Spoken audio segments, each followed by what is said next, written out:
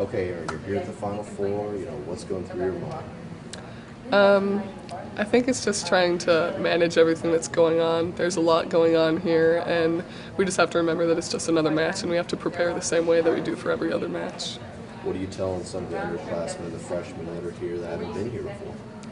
I mean, I haven't been here before either, so it's none of us have. So we're all kind of in it together, relying on each other a lot to just keep us in line, keep us focused on what's ahead of us tonight. You're one of the vocal leaders on the team. You have a lot to tell the girls in huddles. What are you telling them now as you guys are gearing up for this match tonight?